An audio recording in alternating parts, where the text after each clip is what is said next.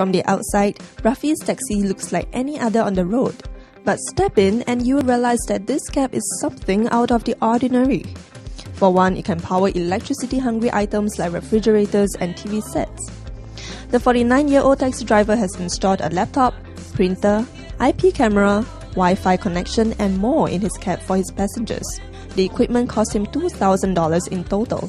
What's the most expensive piece of equipment in your car? My expensive piece, uh, I would say myself.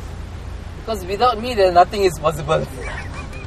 Besides himself, Rafee says the most expensive thing in the cab is this $600 inverter that converts DC to AC, which powers all these devices and even more.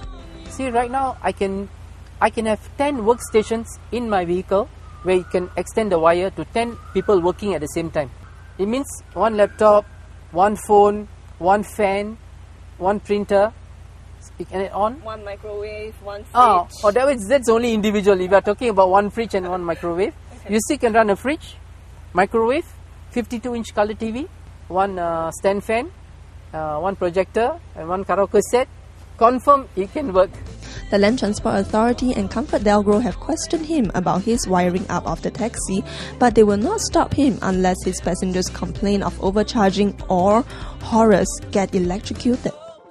Leakage of current is very very sensitive. Okay. So, as in, in the vehicle, you have positive, negative, and the earth.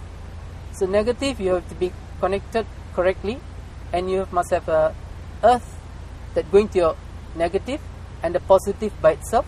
So, all these are separated by them individually. Everything is fine. Right. Yes. So this is if this is not done properly, If it's not done properly, then you have a big problem. your passengers will be electrocuted. Passengers won't be electrocuted. The system will just die off by itself, Right. and the taxi won't be moving. Okay. Has that happened before? Ah, no, touch wood, not, it won't happen because I did it according to what it should be done. Is this perfect now, or are you still going to upgrade your I will vehicle? upgrade. Actually, I'm waiting for the next March IT show coming in, Okay. 10 to 13. Okay. So I'm maybe I'm going for an iPad 2. so again, it's not easy.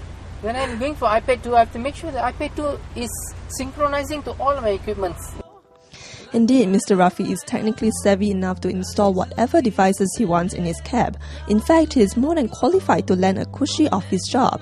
So why choose to be a taxi driver? Find out in the next clip.